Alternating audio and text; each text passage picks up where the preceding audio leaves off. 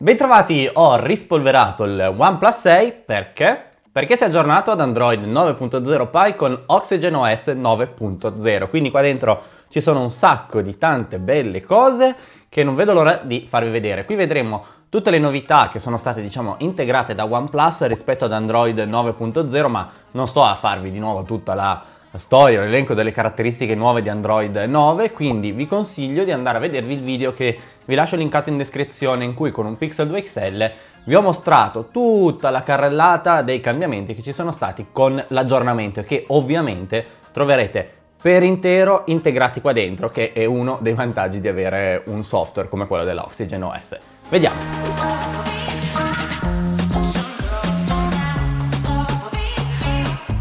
Eccoci qua con il nostro setup di aggiornamento, lui è OnePlus 6 aggiornato ad Android 9.0 Pie con Oxygen OS 9.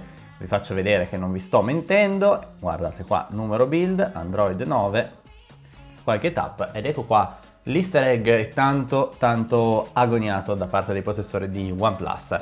Dunque vediamo subito quali sono le novità. Intanto per cominciare vedete che c'è una grafica con delle icone leggermente diverse, guardate qui la tendina delle notifiche come ha subito diciamo il restyling di Android 9, sinceramente io la preferivo prima, ma OnePlus ha fatto qualcosa per migliorarlo, ovvero c'è la possibilità di andare a selezionare un tema prendendo un colore custom. Adesso vi faccio subito vedere, potete scegliere sempre tra tema chiaro, scuro, a colori, io vi consiglio uno di questi due perché quello a colore non mi piace per niente, ma soprattutto qua colore evidenziazione ci sono i soliti quelli della tavolozza, ma anche questa possibilità dove potete andare veramente a selezionare eh, tutto quello che vi pare. Proviamo a mettere questo qua Arduino, vi fa vedere anche qui una anteprima di mm, come verrà fuori.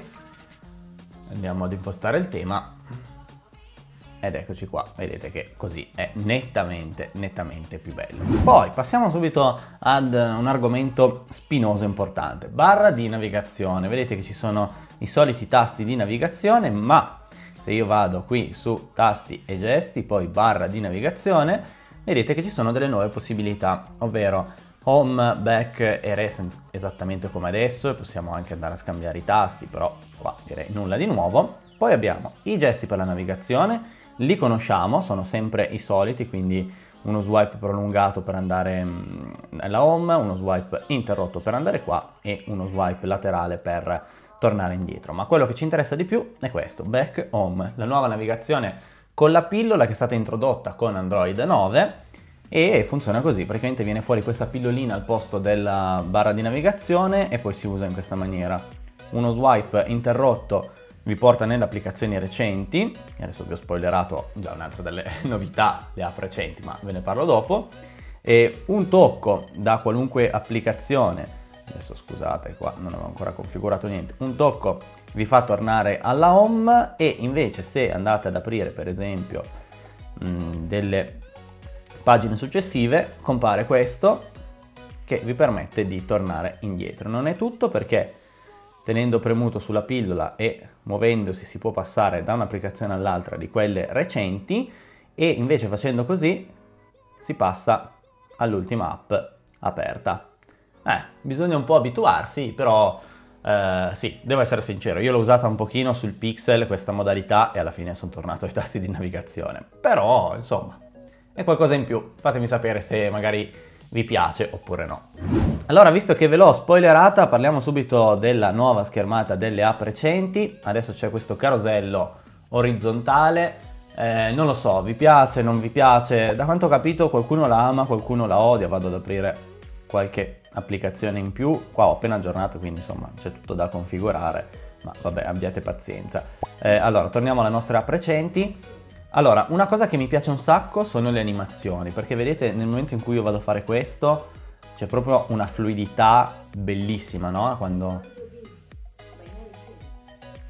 Ok Alexa, vabbè scusate Alexa mi stava interrompendo. E, allora, dicevo, queste sono animazioni che a me piacciono tantissimo, danno proprio un'idea di fluidità. Per esempio, guardate qua, quando io vado a chiudere un'app, guardate l'animazione che fa entrare le altre di lato. Secondo me è veramente fatto benissimo e fa parte di quei dettagli che danno quell'idea di software molto molto curato. Poi non è tutto, toccate sui tre pallini per le app ovviamente che possono andare in schermo diviso, che non sono queste, non sono queste, ecco il Play Store magari, eccolo qui, modalità schermo intero, niente, schermo diviso, va a finire qua e qua sotto potete sceglierne un'altra con la pillola.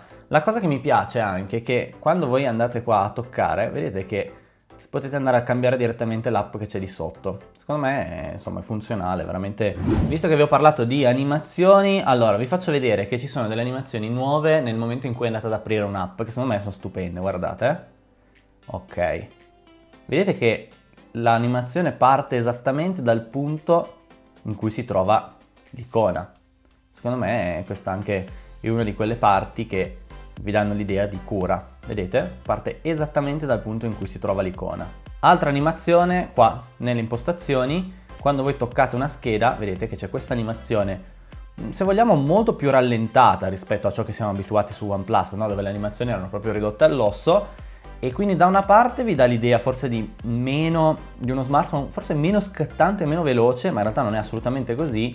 Vedrete che dopo un attimo di ambientamento vi sembrerà anche eh, insomma più, più burroso, ecco per dirla come piace a me, però vi dà la sensazione di un telefono che gira in maniera fluidissima. Poi una delle novità di Android Pie, ve la faccio comunque vedere perché OnePlus ha aggiunto una piccola cosa, questo è il nuovo selettore del menu che spunta fuori qua di lato. Qui potete andare a selezionare l'uscita contenuti multimediali, se collegate una cuffia Bluetooth la trovate qui, potete mettere la spunta dove volete che esca l'audio. E poi eh, avete qua i volumi multimediali, diciamo. Poi se toccate potete entrare nella, eh, nella scheda audio con tutte, altre, con tutte, le altre, cose. Già che ci sono, già che sono qui, vi faccio vedere questa modalità, non disturbare, che era già presente ma è stata completamente riorganizzata qua nelle, nelle impostazioni.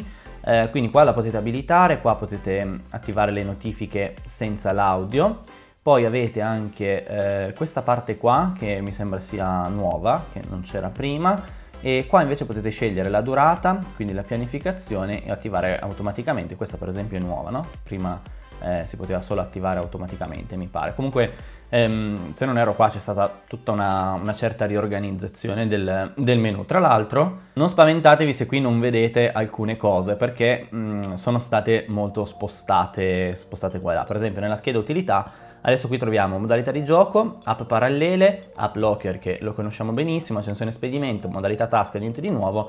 C'è OnePlus Switch che è stato aggiornato, ah, adesso qua devo consentire tutto quanto, è stato aggiornato alla versione 2.1, quindi ehm, permette di fare delle cose in più, insomma dovrebbe essere più efficiente. Eh, poi mh, app parallele, adesso qua purtroppo non le vedete perché io ho riconfigurato il telefono quindi è nuovo, ma eh, Parallel App che è la, mh, il tool che consente di clonare le applicazioni ora supporta molte molte più applicazioni di terze parti e modalità di gioco è stata aggiornata alla versione 3 e porta dei cambiamenti.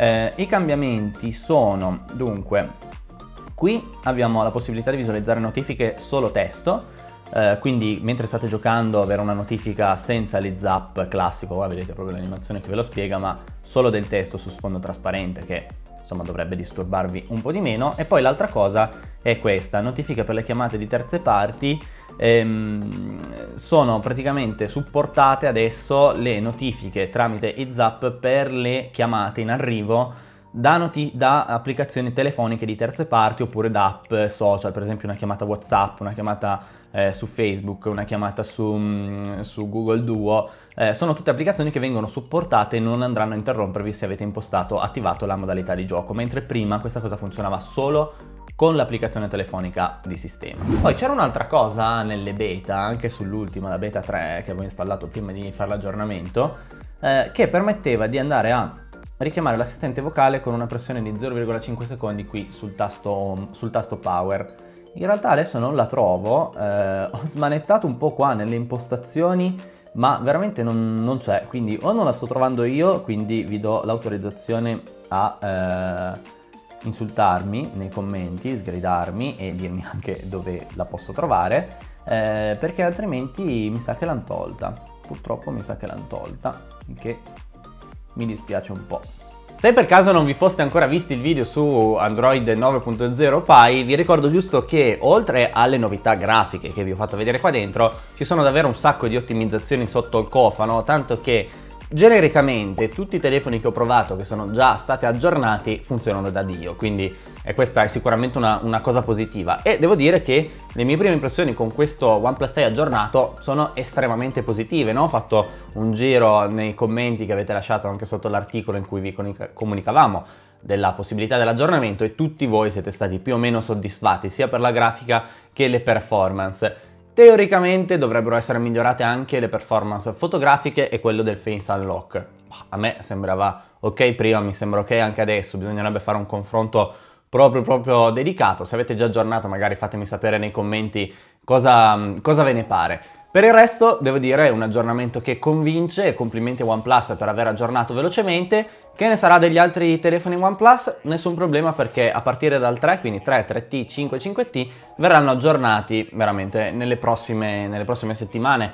C'è da aspettare ancora un pochino. Se con il OnePlus 6 non avete ancora ricevuto l'aggiornamento over the air, no problem perché vi lascio in descrizione eh, nell'articolo che ho scritto di accompagnamento a questo, a questo video il link per scaricare il pacchetto zip e fare l'installazione manuale, no? basta andare nell'impostazione, aggiornamento di sistema, poi toccare sulla, ehm, sulla, chiave in alto e fare aggiornamento locale, lui subito troverà, troverà, il file. Questo file dovete metterlo nella memoria del telefono in un posto generico, non nella root, diciamo, nella, nel percorso principale, quindi tutto molto, molto semplice.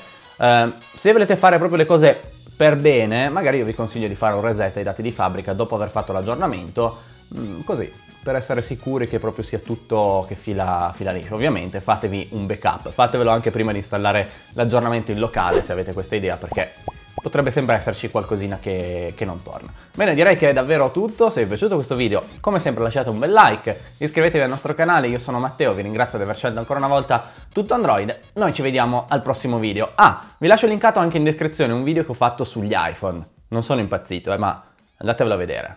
Ciao!